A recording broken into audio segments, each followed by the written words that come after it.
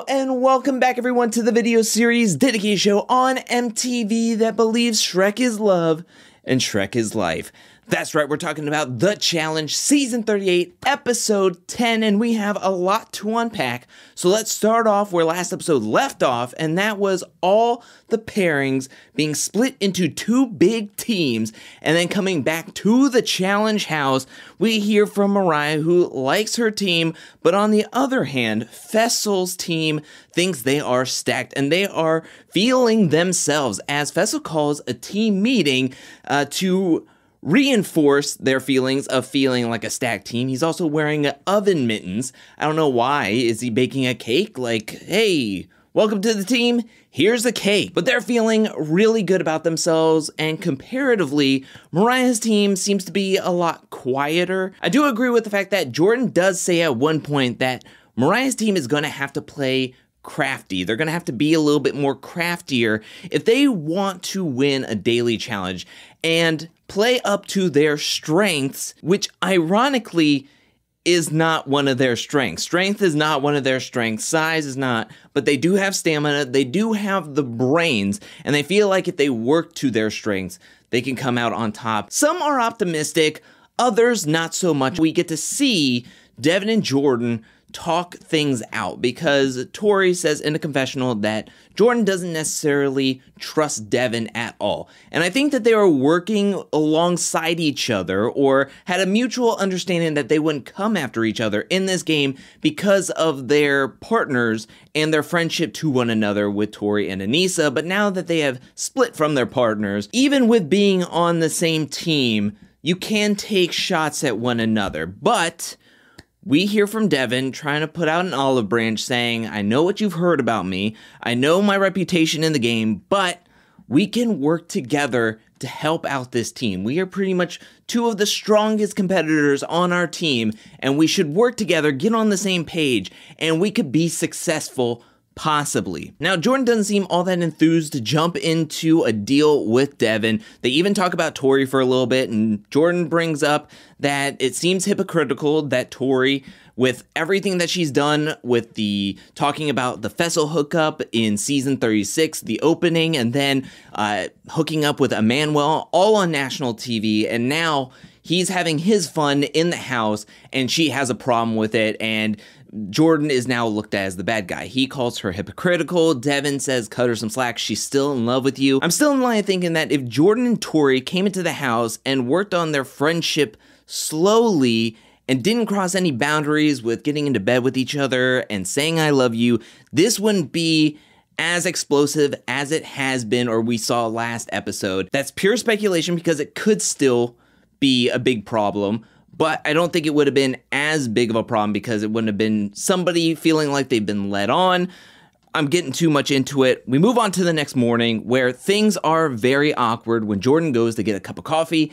Tori, Aneesa, and Amber are in the kitchen doing their thing, eating a meal, and it's awkwardly silent until Jordan leaves the room and then Tori, who was biting her tongue, then just like lets all of her emotions out, uh, venting to Aneesa, letting her know how she feels. Her blood is boiling with Jordan just in the room. We even hear from Nurys in a confessional who is still trying to recover from an amazing makeout session with Jordan from the other night and that morning. I mean, get this girl a glass of water. But after all of that, everybody dons on their challenge gear, meets up with TJ for this week's daily challenge, which is over water, as well as being sponsored by Puss in Boots. That's right, the Shrek spin off movie starring Antonio Banderas. They go all out for this TV spot with TJ reading the movie plot, Antonio Banderas talking about the movie, as well as Universal Studios giving the challenge an animated overlay to put in the episode. This all ties into this week's daily challenge called Last Life, which will have the teams putting people up one on one on a giant floating platform over the water where they're gonna have to wrestle each other off the bridge. The team that can knock out every single one of the opposing team's players will win this daily challenge and win into power and safety. This daily challenge is relatively fun. I'm not so into the Puss in Boots movie promotion, sponsorship, and how invested the show was in showing us Antonio Banderas' character at every single moment. But I thought the Daily Challenge was pretty interesting if it was an individual season or if the season was still in pairs. You could have had a bracket. However, for a game that just turned into a team based game, I would like to see team based daily challenges. I'm sorry, but I felt this daily challenge kind of fell flat, sort of like Team Moriah's team in this daily challenge, spoiler alert, because this was essentially a solo daily challenge, mainly having to do with strength. This was complete and utter dominance by Fessel's team. You have Nelson beating Devin, even though Devin takes out Nelson. Devin's footing came off the platform and the bridge first, meaning he lost the point. Nelson wins. Horacio and Bananas was a really good matchup, and Horacio actually beats Bananas and gets to go back onto his team's platform to help them try to win against the rest of the players. However, Chauncey wins against Jordan. Then Fessel takes out Kenny. Now, a lot of Team Moriah's team felt that Fessel was going to be able to beat anybody on their team. So why not just put Kenny up there and see what could happen? Kind of waste Fessel's turn in a sense. Fessel kind of just like lightly pushes Kenny off the bridge and he instantly goes into the water. Horacio is left standing. He is the last man standing for Team Moriah. Fessel volunteers to take out Horacio.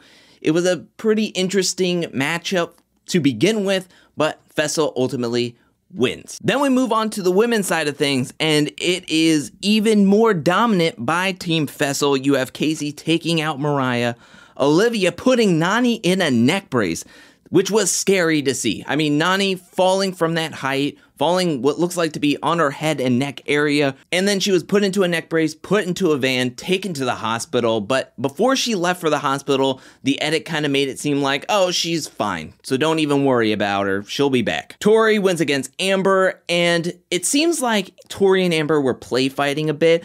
Now, I was a little bit like, kind of, ugh, now they're just giving up. And why not? Why? I mean, Looking back, I mean, Horacio was going to have to take out Fessel and Chauncey by himself. So with Amber and Nurys, the last two standing, they were going to have to win against four women. And that's just not the case. Also, Nany just got almost seriously injured. So I think Amber was like, look, we're not going to win this thing anyways. Even if we go to a tiebreaker, we're not going to be able to win this thing. We're going to be a woman down. The men were useless. So how about we just play fight a little bit? I'll hop off safely off the bridge and everything will be all fine and you guys can take the win. Tori wins round three against Amber and Aneesa wins easily against Maurice. Team Fessel wins this dominantly and TJ lets them know that they're going to have to interrogate all four men on Team Moriah as it is a men's elimination day. So heading back to the house, hearing it's a guy's day, I'm instantly thinking, Kenny, I hope you're ready to go into elimination because you're going to be going in. He had like two or three confessionals at that point in the episode, and I was just like, he's going in. 100% he's going in. We go to the interrogation room where there's stadium seating. And Team Fessel gets to talk before they get to interview everybody, and there is a push, mainly it feels like from Fessel and Tori, that Jordan should be the vote to be sent directly into the elimination. Now we get to the interrogation. Kenny is up first, and he just volunteers. If it's a call out, I want to have all the power to know who I'm going up against, and he wants to go up against Horacio. At that point, I'm like, Kenny, my guy. It doesn't matter who's going into the elimination against you, your chances are slim going up against any one of these three guys. Horacio comes into the interrogation and says that he shouldn't be the main vote because Team Fessel should be looking at trying to take out Team Moriah's best guy, which is either Jordan or Devin. Then Devin comes in and he is trying to be all vague. He doesn't want to give too much away. He just hopes that he has done enough that he is not going to be the main vote. And then Jordan comes into a silent room. Nobody wants to say anything. Jordan seems to be the first person to say something. I'm not going to be coming back with who I could be possibly facing in an elimination. And even if I'm in a draw, do you think people are going to send me, one of the best players on my team, into the elimination? So why even entertain the idea of sending me into the elimination. This is when Tori asks if the roles were reversed, would you have my back in this scenario? Which I thought came out of left field. I understand she might want some answers and she would want him to say it in front of everybody because when you're one on one, first of all, I don't even know if she wants or if they want to talk to each other one on one, but if you just talk to each other one on one with nobody else around, you can pretty much say whatever you want and then it's your word against his. Now you're kind of putting him on the spot in front of everybody. It was pretty awkward. It was pretty awkward before Jordan started talking, and then it was pretty awkward asking that question in front of everybody. It was very poignant. It was something that really didn't have to be asked in that time and space, but you kind of miss 100% of the goals you don't shoot, you know? After the interrogation, that's when we see Nany return to the house. She had all these tests done and she got a clean bill of health. Nothing was wrong with her. And that's when everybody gets on their fancy clothes and goes to the bar to have a good time. We hear from Moriah, Amber, and Horacio that Kenny needs to be sent in. For the betterment of the team, Kenny needs to be sent in, and everybody has to be on the same page. Then Tori is talking to Fessel, and I thought that this was actually a decent bit of strategy from Tori, where she was talking to Fessel saying, Look, I understand that everybody wants to maybe throw in Jordan, but think about this. Maybe next week we're not in power. If we shoot for the stars now by sending in their best player, next week when they're in power, they're going to do the same thing and it's either me, Kaycee, or me.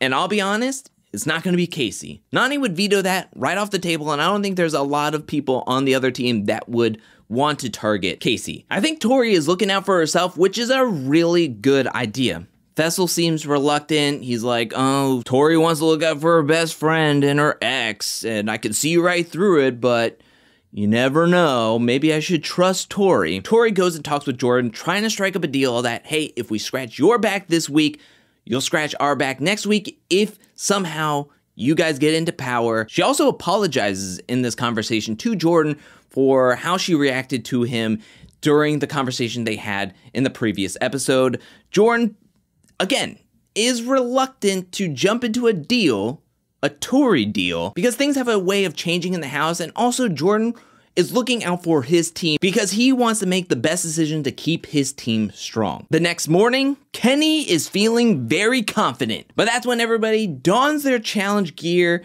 meets up with TJ in the zone for this week's elimination. TJ calls out Moriah's four men, and that's when he turns his attention over to Team Fessel and asks for everybody to give their vote on who they want to send directly into the elimination. And T Fessel is like, oh, crap. Uh, I knew I forgot something. Ooh, shoot. Uh, huddle, huddle up, everybody, huddle up. And they're all talking about, oh, who, who are we going to talk about? Who are we going to say? Nelson sees right through this BS. And he's like, Y'all know who you want to send into the elimination. Y'all were talking about it. And me, Nelson, Olivia and Chauncey were left out of the talks completely. So Fessel kicks things off, voting for Horacio. And then it is a domino effect of everybody voting for Horacio, except for Olivia, who votes for Kenny. So by a vote of 7 to 1, Horacio is going directly into this week's elimination.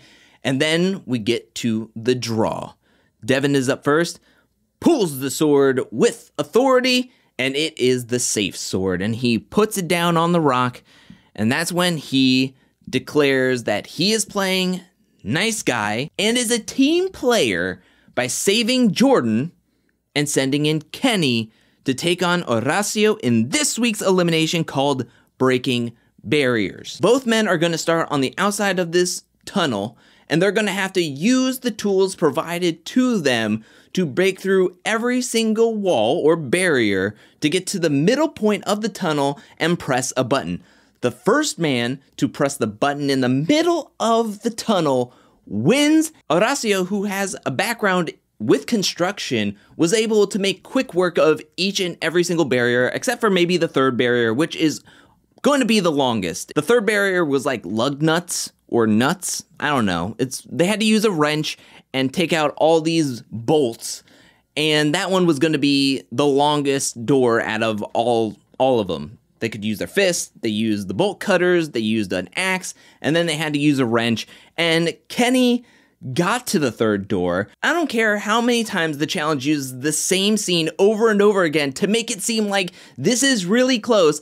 I don't think it was that close at all. I mean, Horacio had half the door done when Kenny just got to the bolt door. And if Horacio is saying these bolts are hard, I can only imagine how hard these are for Kenny. Horacio breaks through all the barriers, hits the button, and is declared the winner. Four elimination wins on the season. He is one elimination win from tying a long standing challenge record of the most elimination wins in a single season. Kenny gets a long, sad goodbye. He hugs Kaycee. Kaycee gets very teary eyed. And then Kenny walks out the zone exit and through the bushes and is gone. Horacio rejoins his team as TJ tells them to get ready for the next daily and I'll see you very soon. And everybody walks out the zone, and boom, it should be done. The episode should be done. However, it is not because, and that's when Kenny comes walking back into the zone to meet up with TJ, who let it be known that he is technically still alive in this game. That players who are eliminated from here on out will live or die by their ride or die. That you can be eliminated However, as long as your original partner stays in the game, you'll have an opportunity to win yourself back into the game. That means there is a Redemption House style twist to this game, but that also means technically we didn't lose anybody this episode, and we're not going to lose anybody necessarily in the next coming episodes, as long as, you know, an original pairing don't go out one after the other. But I just realized nothing's gonna change with Kenny. Now that even with him being eliminated and him not going to be shown on camera, he wasn't necessarily getting any confessionals before this episode, and he wasn't being shown a whole lot in this episode. So he's still in this game, but he's just not going to be shown on camera. That's Kenny for the first like nine episodes of this season. I have a lot to talk about with my feelings of this episode, how this episode felt with the two team twist being implemented, and this being the first episode with the two team twist being implemented, with also the Redemption House twist that was now in place. I have a lot to say about that, but I'm to get into all of my thoughts and feelings and ranting all in my tiny table talk tomorrow about this episode. But what'd you think about this episode? Let me know down in the comment section below. What'd you think about this being the first episode with the two team twist? What'd you think about the daily challenge? Do you think it played too much into Team Fessel's hands? Let me know down in the comment section below. Also, what'd you think about them voting in Horacio instead of taking the shot at Jordan. Do you think that was the right decision? As well as what do you think about Horacio versus Kenny and the elimination game? And also, let me know what you think about the Redemption House twist. Let me know that down in the comment section because I really want to hear what everybody has to say about this episode. I have my own thoughts. Again, I'll get into Tiny Table Talk tomorrow, but yeah, but that is it. I want to give a special shout out thank you to everyone who supports me over at patreon.com slash angelcakevids. Thank you for your support. Thank you for your generosity. Thank you, thank you, thank you. And thank you to everyone who is watching this video up to this point. I'll be back really, really soon with more Challenge 38 content, more challenge content, more content in general. But until then, peace.